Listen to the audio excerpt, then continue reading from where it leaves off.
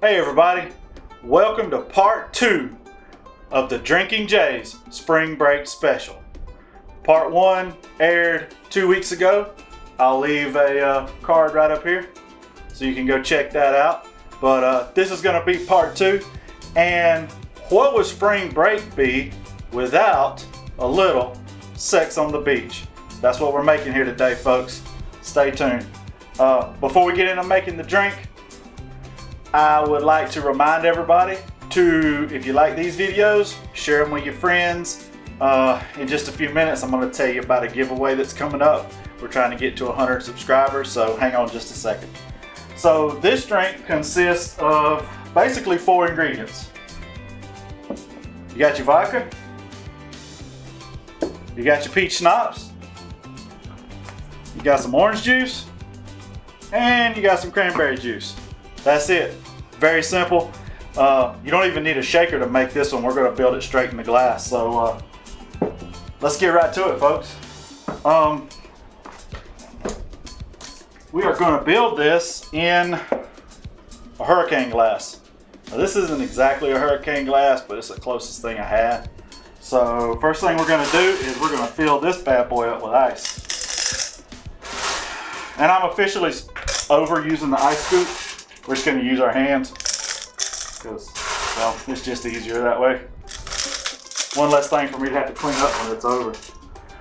All right, we're going to fill this all the way up with good crushed ice. And the first thing we're going to add is one ounce of peach schnapps. This is good old Peachtree. I'm sure there's some better peach schnapps out there, but not that I can find around here. God, making a mess already, Jay. There's one ounce of peach schnapps poured straight into our hurricane glass. Next thing we got is the vodka. Now this currently is my favorite vodka. This is Monkey in Paradise vodka, distilled and bottled in St. Petersburg, Florida. Now, if you want to win your very own bottle of this, plus a gift card to take your honey out to eat somewhere, all you have to do is share my videos on your social media and comment on that video on YouTube and let me know where you shared it at so I can go check it out and make sure. Once we get to 100 subscribers, I'm going to take everybody's name who shared the video. I'm going to put it in a hat. I'm going to draw it out. And whoever I draw wins the vodka and the gift card. Uh, every time you share it and comment on video, you get another chance. So you got a chance to get yourself good, uh, good opportunity to win this bottle of vodka.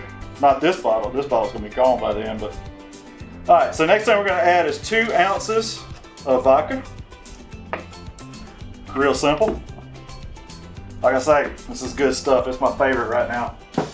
And next up is orange juice. Now I'm breaking one of my rules. I usually only use fresh squeezed orange juice, but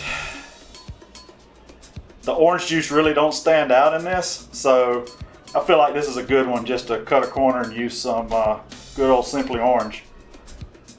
So we're gonna put two ounces of orange juice. All right, so we got an ounce of peach schnapps, two ounces of vodka, and two ounces of orange juice. Now, as you can see, it's settled a little bit. So we're gonna top it back off with ice. But you want a lot of ice in this drink. Yeah, let's just throw the ice everywhere, Jay. Uh, all right, now the last ingredient is cranberry juice. Now I want you to pay close attention how cool this looks once I pour, start pouring this cranberry juice in there. I'm gonna pour it real slow so that the color distributes slowly.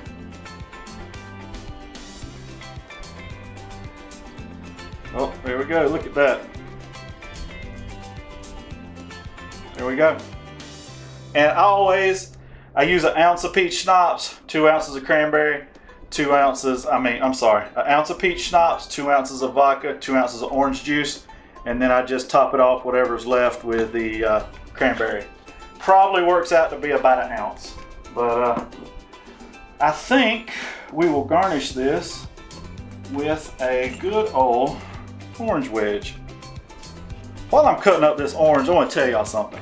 So, a couple weeks ago, we went down to Panama City Beach for a birthday party, and it is spring break down there right now. And I think we'll use an umbrella here. So I got to thinking about my own spring break days and back in 1994, myself and four good friends took a, look at that, every time. Took my buddy's pop-up camper down there and we stayed five deep in a pop-up camper at Raccoon River on Panama City Beach. We had the best time of our lives. There you go, folks. That is your sex on the beach. Uh, I'm gonna add a straw in here. But I just wanted to point out some differences in spring break then and spring break now. Like I said, we swung it on a budget. We uh, ate hot dogs on light bread. We stayed five deep in a pop-up camper. These kids these days, oh man, that's good. That is real good. Anyway, these kids these days, they're driving $80,000 trucks to spring break with $10,000 worth of tires and rims and they got the back of it squatted down and the truck's lit up like the satellite stage at the Gold Nugget Lounge and they staying in $2,000 a night condos. Just don't feel like all that builds the character that uh, we used to have at spring break. Man, you got guys at spring break now toting around guns, shooting each other. It just ain't the same vibe. Things have changed a lot. And it really makes me sad that my kids aren't going to get to experience spring break like I did. But that's neither here nor there because that is one hell of a drink right there. Uh, the peach schnapps comes through. Enough acidity from the orange juice to cut that a little bit. Uh, can't taste the vodka at all. This could really, this could really get you in trouble. I gotta start hitting that mic with my hand. Yeah, that's a, that's a good drink right there, folks. Um, like I say, make sure, share the videos, comment, subscribe, like the videos. Also, um, doing some Mother's Day gift baskets. If you'll check out the live feed I did last week, I'll leave a link to it somewhere up here. If you'll check out the live feed that I did Sunday, gives you all the details about that in there. Um, and remember, always drink responsibly support your local family owned liquor stores, and always try to drink from local breweries and distilleries when you can. Uh, happy spring break, everybody.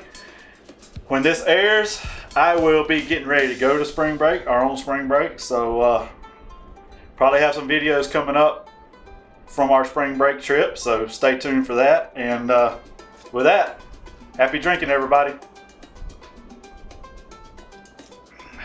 yeah, you could get uh that could get out of hand real quick.